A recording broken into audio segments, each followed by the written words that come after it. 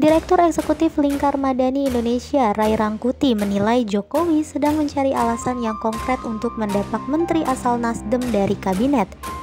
Rai Rangkuti menuturkan rencana perombakan kabinet kali ini buntut dari pencalonan Anies Baswedan sebagai capres yang didukung oleh Partai Nasdem.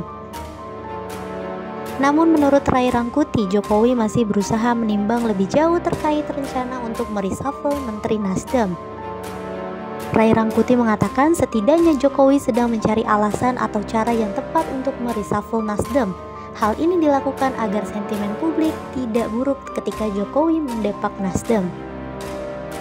Rai Rangkuti juga menyarankan kepada Nasdem untuk mengundurkan diri dari kabinet jika tetap mendukung Anies Baswedan.